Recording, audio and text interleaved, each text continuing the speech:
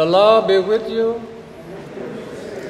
A reading from the Holy Gospel according to Matthew. On that day, Jesus went out of the house and sat down by the sea. Such large crowds gathered around him that he got into a boat and sat down, and the whole crowd stood along the shore. And he spoke to them at length in parables, saying, A sower went out to sow, and as he sowed, some seeds fell on the path. Can birds came, came and ate it up.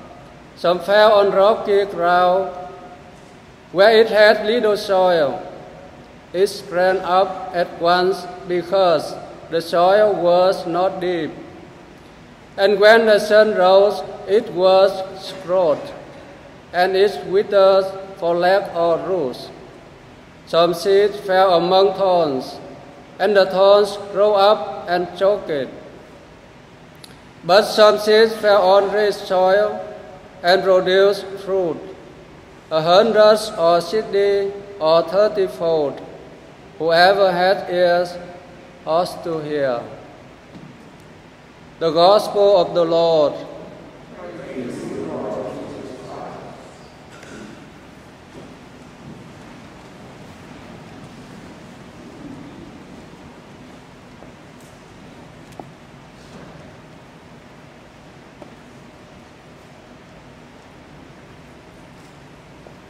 Some seed falls in the good soil and produces 160 or 34.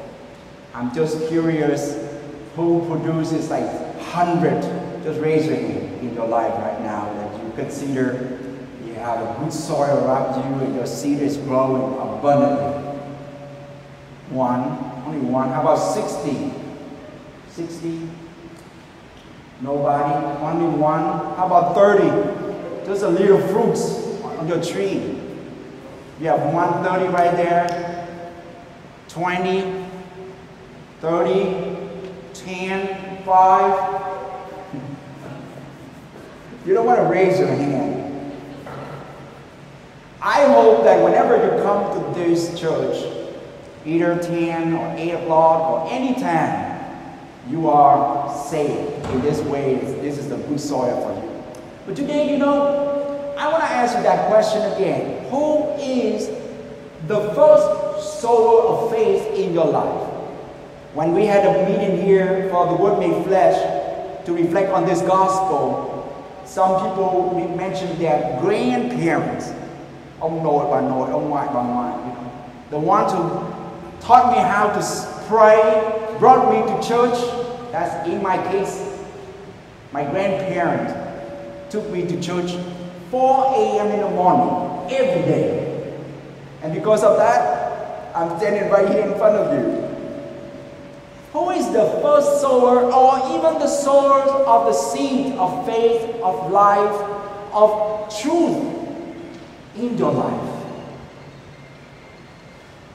Today we, we will baptize a little boy uh, today, Grayson. That's why you see a lot of, a lot of people today. We will baptize this little boy in only of less than a year old. And I can imagine that this boy will grow. Think about it today with this amount of people during pandemic to be here to pray for this little boy Grayson.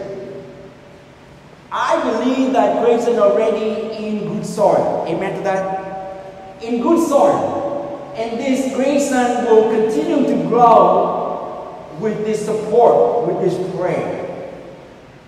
I bet you, whoever's sitting right now in this church, you receive so much prayer, support, education, and a lot of reminders in your life. Force you to get up, remind you to go to church every day. That's why you are here. So, today we need to thank all those people that help us to be who we are today. Yes? We need to be grateful to them. Because if not, we think we battle by ourselves. And you know what? It's not true. Even in my vocation as a priesthood, when I entered seminary at the age of 25, 26, I thought I was old enough to make my own decision because I was good enough, I was smart enough, I was holy enough. That's why God chose me. The day I was ordained, eight years later, I figured it out. I discovered that the day I was ordained is also the day my mom and my dad and my family, even my ex-girlfriend was ordained with me. You know why? Because they sacrificed every minute. Even today, my mom, my dad already passed away, but my mom in New Orleans, she cannot not praying for me. My whole life is in her life. And because of that, I'm so grateful to everyone, to everyone that touched my life, spiritually, physically, even some of you cook for me, give me cookies and food and even money, everything. That's why I'm standing so vividly in front of you. But at the same time, my brothers and sisters, sometimes we reflect and say that you know what, Father?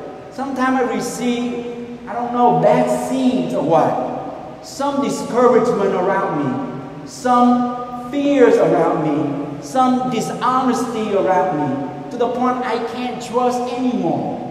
To the point I can't have any more confidence in that person. Then we become the seed for others.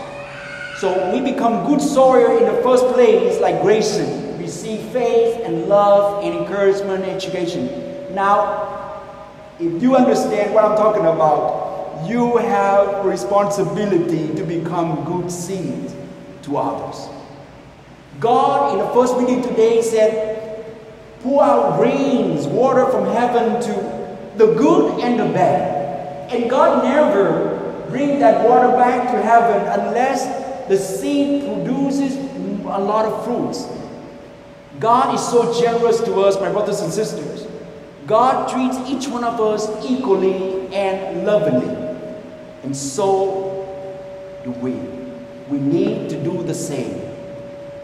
And then to the second reading today, Paul said that the suffering I have right now is nothing compared with the glory of God. Sometimes we right now suffer, suffer with a lot of different reasons. Hopefully, you and I be patient enough, trust enough that the seed has to be broken, has to be suffered in order to produce the new tree. So don't be afraid of suffering. If you aim high and fall and believe that this life is not the end, after we get sick and die. We know that our life is much more than just a few years here. So that even after we die, that seeds will be growing and produce a lot of fruit. My dear brothers and sisters, today, reflect on our own. We are able to sow the seed how many times we sow the seed that fallen into the path, the thorny, rocky places, because our intention, our attitude is not pure enough. Today, let us trust God and entrust ourselves through our loved ones. Make our loved ones feel safe, feel gracious. You know, I ask myself, what kind of seed that we wanted to sow out there. Hopefully the seed of gracious, the seed of gratefulness, the seed of encouragement, the seed of trust, the seed of hope. Throw that out there, and I believe you, sooner or later, that seed will grow. Like my little Grayson today,